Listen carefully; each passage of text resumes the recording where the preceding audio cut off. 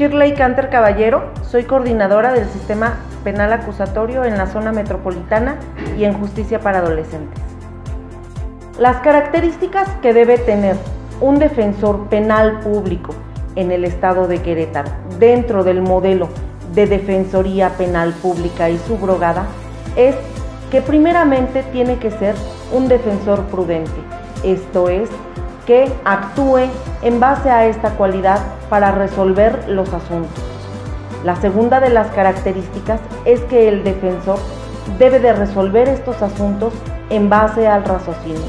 El raciocinio que conjuntado con la prudencia hacen que sea un modelo eficiente, diferencia a otros modelos de operación. El perfil del defensor penal público en el modelo de la Defensoría Penal Pública y subrogada del Estado de Querétaro ha sido previamente seleccionado a través de un perfil psicológico, es decir, se hicieron diversos exámenes psicológicos a las personas que se encontraban en funciones dentro del instituto.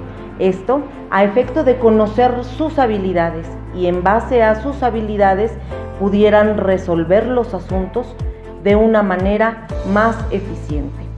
También se realizaron prácticas interinstitucionales. Estas prácticas se realizaron con fiscales, con jueces, en donde fueron evaluados todos los operadores. Esta capacitación tiene que ver con el indicador de la defensoría que significa defensa de calidad, porque fuimos capacitados en la práctica. De esta manera se logra esta especialización.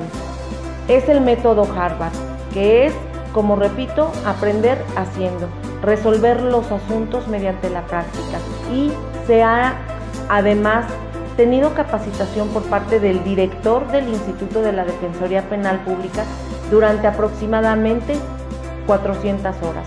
Se ha reforzado todo lo que se ha visto en las simulaciones, se ha reforzado todos los conceptos que se requieren y que son precisos para lograr esta calidad en el servicio y así hacer la diferencia en este modelo de operación.